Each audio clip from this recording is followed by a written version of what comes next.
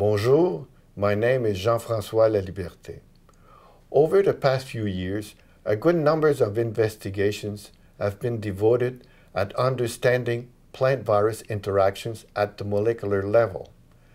These studies have highlighted the importance of host factors involved in lipid homeostasis and vesicular transport in the secretory pathway.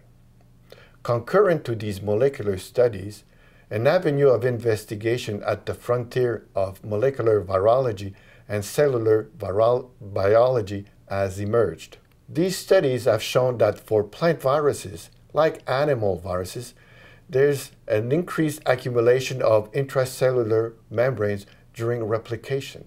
For instance, this proliferation is observed as a large amount of lipids being synthesized during turnip mosaic virus infection, here shown in green, and the cell wall in magenta.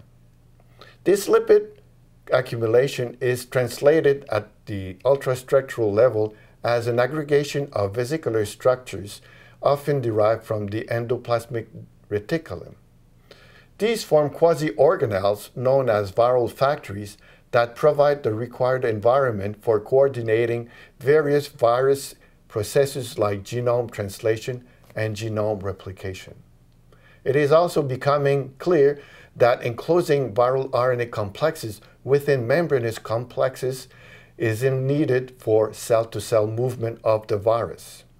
Here, this movie clip shows the movement of such a viral RNA complex from one cell into another. This contribution consequently aims at presenting the latest development at both the molecular and cellular level of what we know of cellular remodeling during plant viral infection.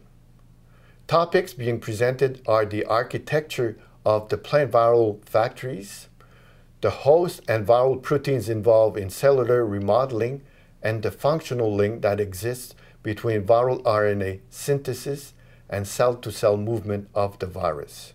This chapter should appeal to anyone who is interested in cellular virology and for those who are interested in how imaging cellular events can provide novel perspective of how a virus replicates inside its host cell.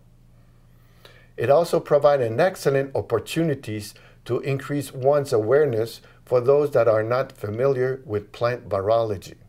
Lecturers and students will also find important and interesting information of how cellular remodeling is taking place in plant cells and how molecular processes are co-opted during replication.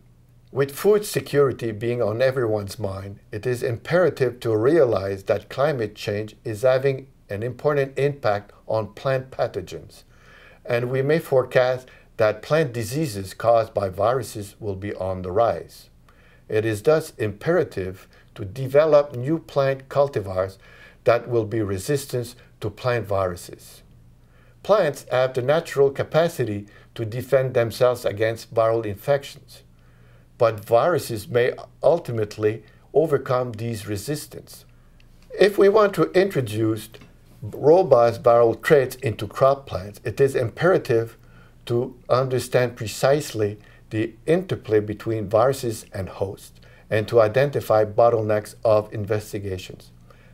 This chapter, published in the first issue of the Annual Review of Virology provides interesting avenues for the future in developing plants that will be resistant to a whole array of viruses.